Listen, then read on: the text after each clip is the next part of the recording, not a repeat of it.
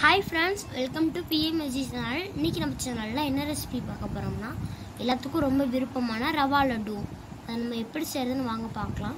நம்ம வீடியோக்குள்ளே போகிறதுக்கு முன்னாடி நம்ம சேனலை சப்ஸ்கிரைப் பண்ணாதவங்க சப்ஸ்கிரைப் பண்ணிக்கோங்க. வாங்க இப்போ நம்ம ரவா லட்டு எப்படி செய்கிறதுன்னு பார்க்கலாம். அதுக்கு இப்போ நம்ம ஒரு கப் ரவை எடுத்துக்கலாம். நீங்கள் எந்த கப்பில் ரவை ரவை எடுக்கிறீங்களோ அந்த கப்லேயே எல்லாமே மெஷர் பண்ணிக்கோங்க. இப்போ நம்ம இந்த ரவையை பொன்னிறமாக வறுத்து எடுத்துக்கலாம். ஒரு கப் ரவைக்கு முக்கால் கப் நம்ம சர்க்கரை எடுத்திருக்கோம்.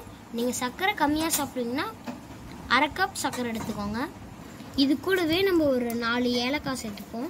இந்த நாலு ஏலக்காவை நல்லா பவுடராக அரைச்சிட்டு வந்துடுவோம் ஏலக்காய் சர்க்கரை ரெண்டுத்தையும் நல்லா அரைச்சிட்டு வந்துடலாம்.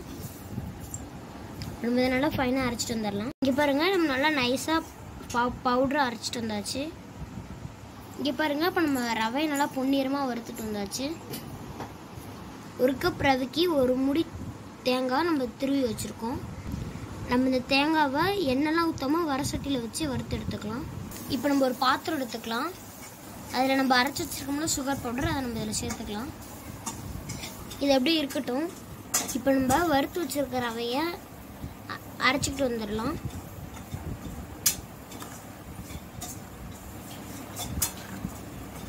இது மாதிரி நம்ம முந்திரியும் திராட்சையும் கொஞ்சமாக கட் பண்ணி வச்சுருக்கோம். இப்போ நம்ம இதை நெய் ஊற்றி வறுத்து எடுத்துக்கலாம்.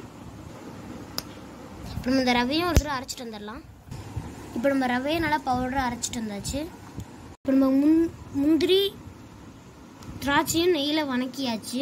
நம்ம தேங்காவையும் வணக்கியாச்சு. இப்போ நம்ம ரவா லட்டு செய்ய ஆரம்பிச்சிடலாம். இப்போ நம்ம சர்க்கரை கொட்டியிருக்கோம்ல அந்த பவுல்லையே அரைச்சி வச்சிருக்க ரவையும் போட்டுக்கலாம். இப்போ நம்ம முந்திரி திராட்சையும் இதில் சேர்த்துக்கலாம். இதில் நம்ம தேங்காவும் சேர்த்துக்கலாம். இப்போ நம்ம இதை நல்லா மிக்ஸ் பண்ணிக்கலாம்.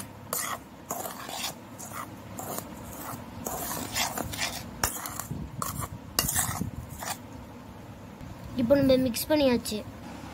நம்ம பால் வந்துட்டு காய்ச்சி எடுத்து வச்சுருக்கோம். கொஞ்சம் சூடாக இருக்கணும்.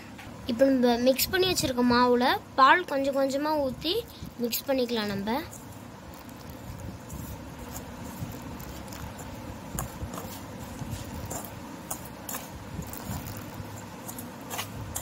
இங்கே பாருங்க இப்போ நம்ம பால் ஊற்றி மிக்ஸ் பண்ணியாச்சு. இது பாருங்க இது போல் கொஞ்சம் கெட்டியாக தான் இருக்கணும். இப்போ நம்ம இதை உருண்டை பிடிச்சி வச்சுக்கலாம். கையில் கொஞ்சோண்டு எண்ணெய் தடவி உருண்டை பிடிச்சி வச்சுக்கலாம். கையில் இந்த மாதிரி நெய் இல்லைன்னா எண்ணெய் சேர்த்துக்கோங்க. அங்கே இன்றைக்கி நெய் தடவி இருக்கும் இது போல் கையில் எடுத்து உருண்டை பிடிச்சிக்கோங்க.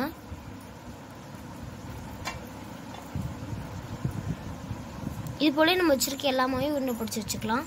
அவ்வளோதான் நம்மளோட சூப்பரான ரவா லட்டு ரெடி ஆச்சு. நம்ம இதை டேஸ்ட் பண்ணி பார்க்கலாம்.